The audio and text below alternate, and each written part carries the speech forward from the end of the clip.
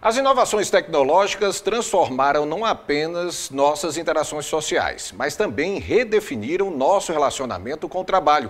Essa mudança exige adaptação contínua e reflexões profundas sobre a aplicação do direito do trabalho. Hoje nós estamos recebendo aqui nos nossos estúdios o desembargador Paulo Regis Machado Botelho, que estará na liderança do Congresso Internacional os impactos das novas tecnologias no mundo do trabalho que vai acontecer aqui em Fortaleza. Doutor Paulo, seja bem-vindo aqui ao Jornal Band Cidade.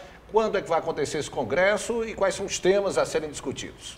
Boa noite a todos. O congresso se inicia no dia 22, agora de novembro, por volta das 17 horas, no Hotel Vila Galé, e prossegue até o dia 24 de novembro, uma hora da tarde.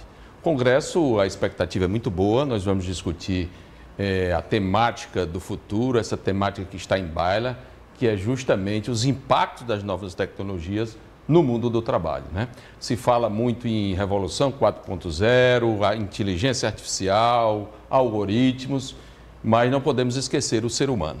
Então, tra vamos trazer para Fortaleza os expoentes é, sobre a, que falam sobre a temática da Itália, da Espanha, de Portugal, do Uruguai, é, tratando justamente do tema, além dos, do, dos professores brasileiros, com presença de advogados, juízes, desembargadores, ministros, todos voltados para essa reflexão que temos que ter.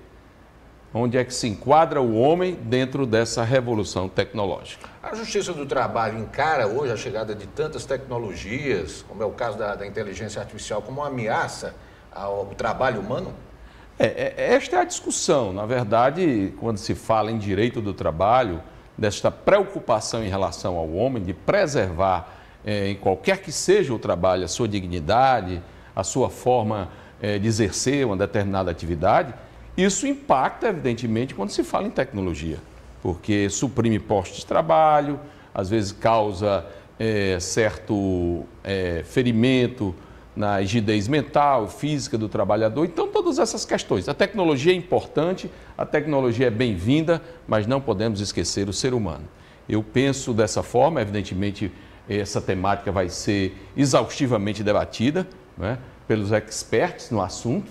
E, e, o que eu, que eu faço voto é que isso realmente reflita e ser, ser, sirva de referência para a nossa sociedade. Essa preocupação que devemos ter com o ser humano, porque se fala em todas essas parafernálias tecnológicas, se fala na nova revolução, mas não podemos retroagir ao período da Revolução Industrial, quando o homem era coisificado. Desembargador, muito obrigado pela sua presença. Desejo sucesso na realização desse evento a partir da próxima quarta-feira. Muito obrigado pela oportunidade e, se Deus quiser, o evento será coroado de êxito. Muito obrigado.